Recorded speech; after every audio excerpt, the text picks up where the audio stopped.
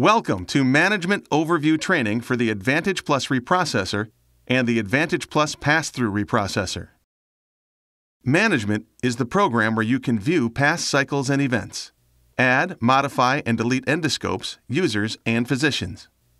The specific user, endoscope, and physician lists your facility supplied will be uploaded into the management program during installation of your reprocessor. The management program comes set up with several user groups. Established rights are allowed based on the user group selected for you by your facility. For example, when assigned the user group operator, users have access to view but not edit management data. Users designated as nurse manager can add, modify, and delete users, endoscopes, and physicians. Let's log in to the management program. Select the ADV utility icon. This icon should be in the lower left taskbar. If not there, the icon should be on the desktop. Right-click and select Pin to Taskbar. Select Number 3 MGMT or Management. A login window opens. Select your name from the drop-down list. Then enter your numeric password. Click on OK to open the management program. To prevent unauthorized access to the management program, all users designated as nurse managers and engineers should have a secure password. Management software should be closed once work has been completed. The management program opens to the Cycles application. There are five application icons on the General tab located down the left-hand side. The five applications are Cycles, Events, Endoscopes, Users and physicians or assistants. Let's walk through each of these. The Cycles application collects information from the disinfection programs. Specific data can be retrieved from the database with the sort and search options. This list includes, but is not limited to, reprocessor serial number, basin used, date and time of cycle, cycle run number, cycle result, disinfectant temperature, disinfectant contact time, Operator Load ID, Operator Unload ID, Endoscope Model, Endoscope Serial Number, Patient ID, Physician, Disinfectant MRC Test Results. To view the cycles report, start by entering a specific time frame. Press the down arrow to the right of each date window and select the desired start and end dates from the calendars that appear. To view the cycles within the time frame specified, press the Run icon, which appears as a yellow lightning bolt located on the upper left side of the screen. The cycles within the specified time frame will be listed. To sort the cycle by any column, click on the column name. Click the column name again to reverse the sort. To view details of a specific cycle, double-click on the desired cycle in the list. Displayed is a very detailed view of the cycle information. A more common view is the reports format. To view the cycle information in the reports format, click on the report icon located towards the top left of the screen. This is the same format that will print if your unit is connected to either a local or network printer.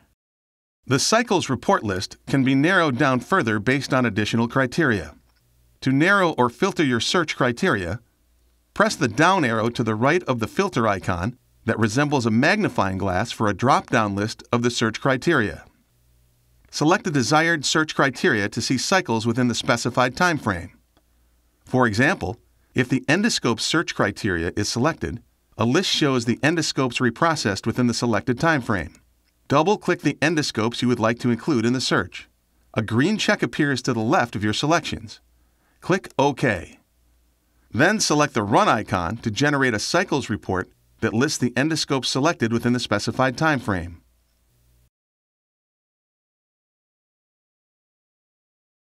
Since the cycle report shown is filtered by endoscopes, the magnifying glass icon changes to include a triangle. To remove the filter and see all the endoscopes again, click on the magnifying glass icon with the triangle or filter. The filter symbol will disappear.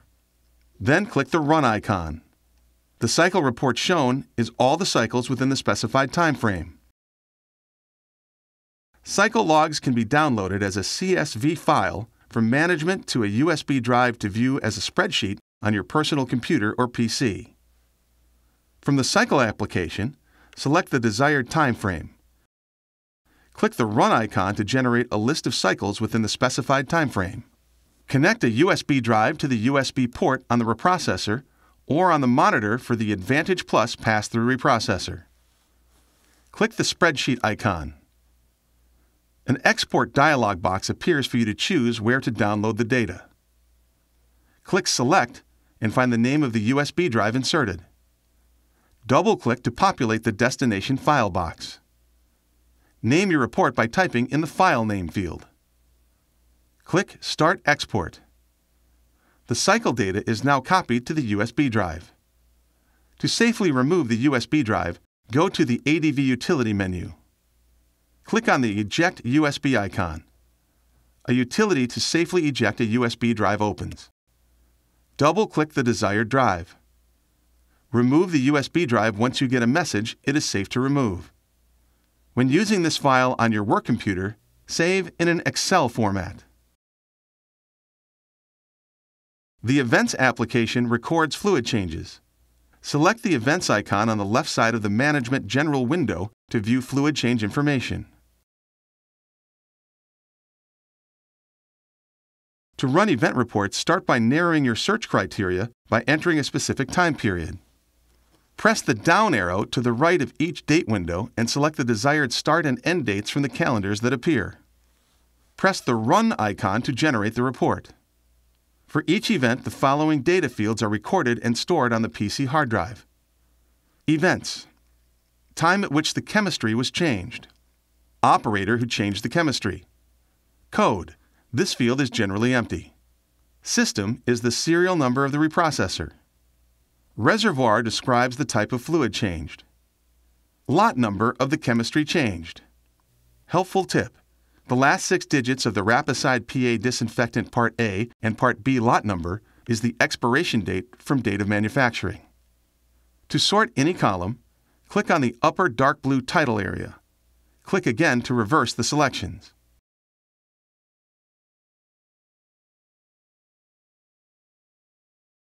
Users are the individuals who operate the reprocessor and have access to the management system. Access the user application by selecting the user icon on the left side of the Management General window. For each user, the following data can be entered. Name is the user's name. Login is the user's login information and generally is the same as the username. The group you are assigned to determines the level of access to the system. We'll discuss more about user groups shortly. Barcode is a unique number assigned to each user. The barcode could be in the form of a label supplied with your reprocessor or from the employee's user badge. Personnel code can be used to enter the user's employee number or other ID. This field is not required. Password can be assigned to a user to protect that user's login. To prevent unauthorized access to the management program, all users designated as nurse managers and engineers should have a secure password. Passwords consist of numbers only. User groups are set up to establish access rights for different types of operators. For security and data protection, operator access is limited to specific programs and functions. There are two user groups that are most commonly used. For daily operators, select Operator, Hospital. For system managers who can add, modify, and delete endoscopes, users, and physicians, select Nurse Manager, Hospital. To add a new user, click on the Edit icon to enable editing. Click on the New Page icon to insert an empty input line. Position the cursor in the Name field. Enter the user's name. In the Login field, re-enter the user's name. In the Group field, select the appropriate group from the drop-down list. In the Barcode field, enter the barcode number assigned to the user. If using the supplied barcode stickers, do not enter the leading zero. Personnel code isn't required and may be left blank. It could be used for the employee number, barcode number, or other ID data. Password is the employee's personal access code. Password can be numeric only. Click on another line to save the data. Continue to add users by clicking on the new icon and entering the user's information. Once finished, click on the Edit icon to disable editing. To modify a user's barcode, click on the Edit icon to enable editing. Select the barcode field that needs to be modified and enter the new information. Click on another line to save the data. Click on the Edit icon to disable editing. To modify a user's name, you must delete the user and then re-enter as a new user with the correct name. To delete a user, click on the Edit icon to enable editing. Select the line showing the user to be deleted click on the Delete button. When the confirmation window opens, click OK to delete the user. Click on the Edit icon to disable editing.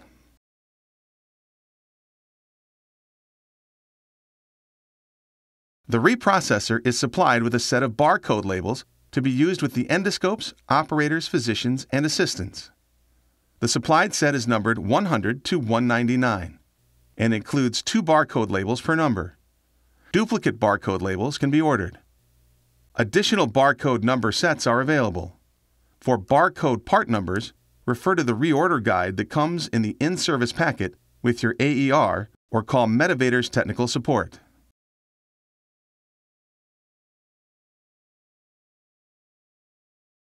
The Advantage Plus reprocessor and Advantage Plus pass-through reprocessor run different programs for different types of endoscopes.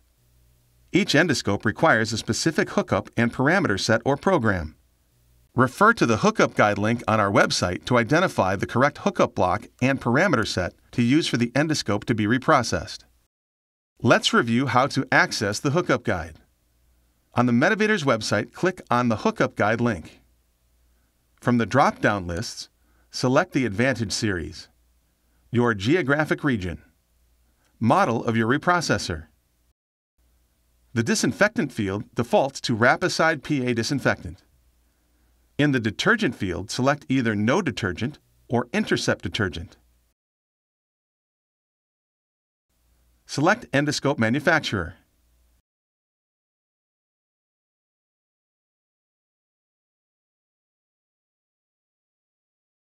Endoscope type, and endoscope model.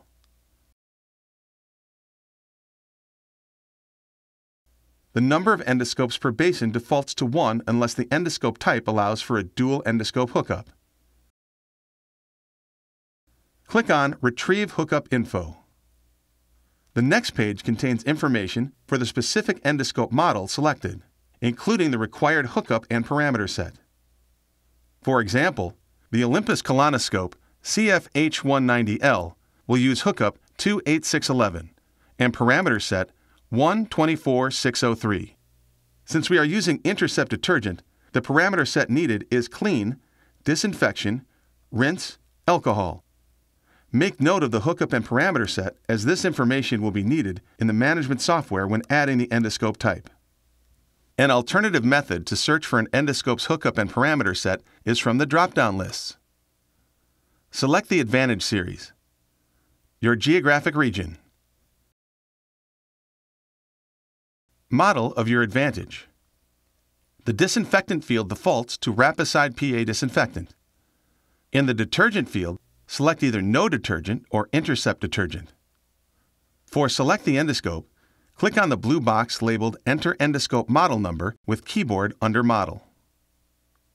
In the pop-up box, type in the scope model number. When typing the model number, it is important to ensure all the dashes, letters, and numbers are in the correct order. Click Search. If the endoscope is found in the hookup guide, a found message with the scope model will show under the search box. If the endoscope is not found, the message will state No matches found. The model number must be entered exactly to be found. Correct the model number and proceed. Click OK and the endoscope model is now populated under the selected endoscope heading. Click Retrieve Hookup Info to view the information for the specific endoscope model selected, including the required hookup and parameter set. Make note of the hookup and parameter set as this information will be needed in the management software when adding the endoscope type. It is important to note that failure to use the correct hookup and parameter set can potentially result in an endoscope that is not disinfected properly and therefore should not be used on a patient. If you are uncertain about the correct channel connections on an endoscope, refer to the IFU that came in the package with the hookup block or call Medivator's technical support at 1 800 444 4729 for assistance.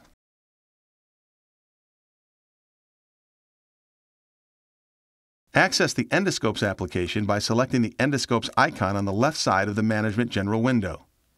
Before entering the information for individual endoscopes at the top of the endoscope application screen, the endoscope type must already be listed. If the endoscope type already exists, proceed to enter the individual scope information in the endoscope section at the top of the screen. Let's go through adding an endoscope type that is not already listed. Click on the Edit icon to enable editing. Click on the new icon next to the Endoscope Types window at the lower left of the screen. An empty input line appears.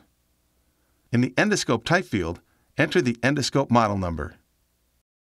Enter the number of channels. This number can be obtained from the hookup block part number. The first digit of the last three numbers indicates the number of channels.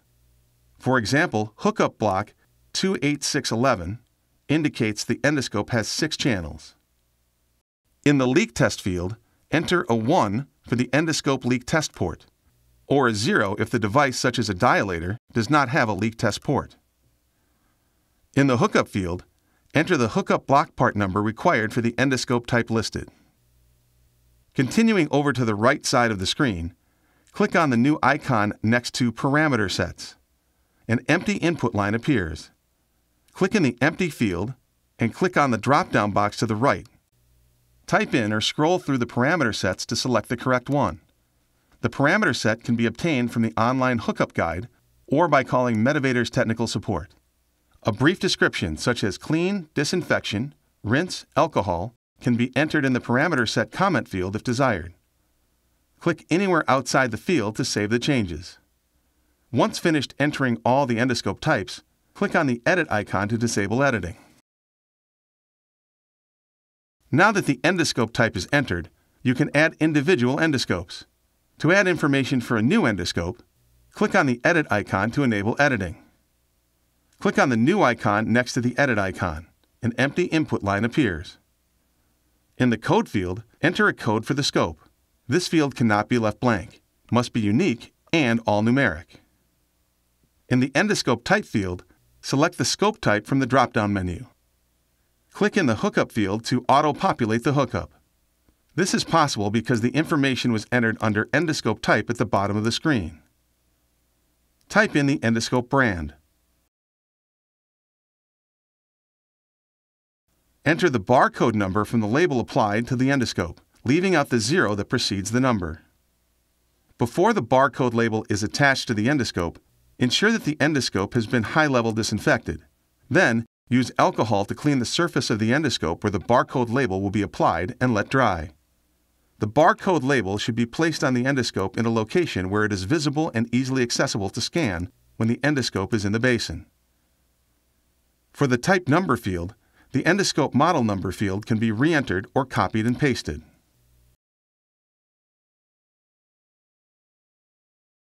Enter the manufacturer assigned serial number from the endoscope in the serial number field.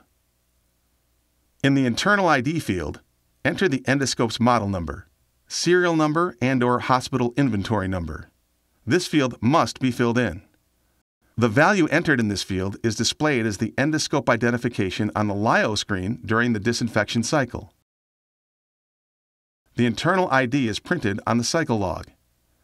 Tag ID is currently not an active feature. The status field contains a drop-down to select in service when adding a new endoscope to the inventory. The memo field provides space for notes, if desired. To save the new endoscope data, click on another endoscope entry in the list. Enter as many endoscopes as needed, remembering to click on another line at the end of each entry to save the information entered. To modify an endoscope barcode, Click on the Edit icon to enable editing. Select the barcode field and enter the new information. Click on another line to save the data. Click on the Edit icon to disable editing. To delete an endoscope, click on the Edit icon to enable editing. Select the line showing the endoscope to be deleted. Click on the Delete button. When a confirmation window opens, click OK to delete the endoscope. Click on the Edit icon to disable editing.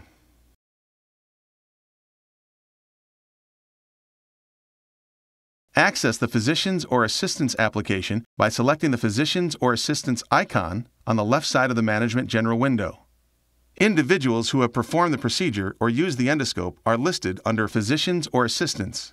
These individuals are not actively involved in the disinfection process. Therefore, they do not have operator rights to use the system. To enter a physician or assistant, click on the Physician or Assistants icon on the left side of the screen. Click on the Edit icon to enable editing. Click on the New icon at the top of the window. An empty input line appears. Place the cursor in the internal ID field and enter the physician or assistant's name. Please note that when selecting physicians from the LIO screen, the names can be displayed alphabetically for easy selection. This can be accomplished by entering the last name first in the internal ID field. In the Name field, type or copy the name from the internal ID field. In the Barcode field, enter the barcode number assigned to the physician or assistant.